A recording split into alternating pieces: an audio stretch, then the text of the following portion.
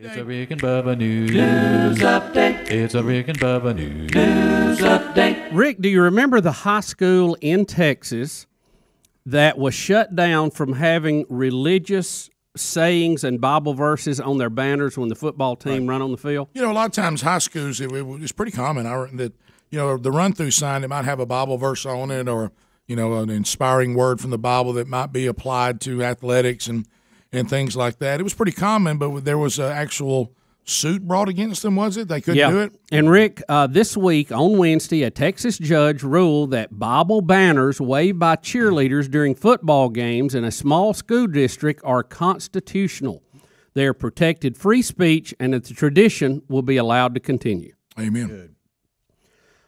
He went on to say no law prohibits the cheerleaders from using religious themed banners at school sporting events, State District Judge Stephen Thomas wrote in a two page final ruling. He had temporarily ruled in favor of the cheerleaders in October. For generations, it has been the tradition of this small town of 2,100 people in the piney woods of East Texas for cheerleaders to write Bible verses and religious messages such as, If God is with us, who can be against us? On large sheets of paper, the football players would then run through the banners when they take the field for home games. Yep.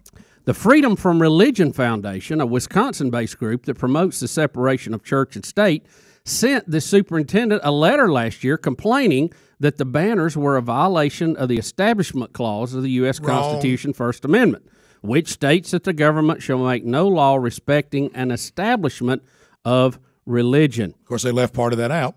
The, la- the last line, or to get in the way of the freedom of expression. Right. They always miss that part.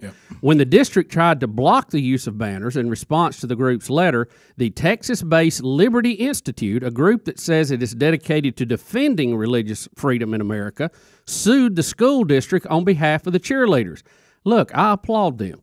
That they've used this technique of suing and threatening to sue to get things done that really are not constitutional. And I applaud this group for standing up, counter challenging them, filing the mm-hmm. lawsuit if it takes that. I hate it come to that, but if you have to, you have to, and defend these kids' rights to put Bible verses on there.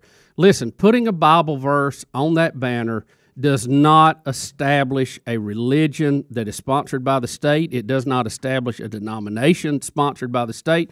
It is what it is. It's simply a Bible verse that is meant to inspire. That's all it is.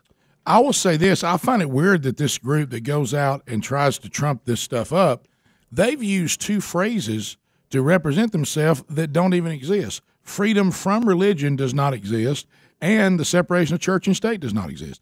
They're using two phrases that aren't even accurate. Yeah, they need to call it what it is. It's called the Establishment Clause. It says the government will not establish a government religion, or better, even translated, a government denomination. Nor will they get in the way of people expressing their beliefs.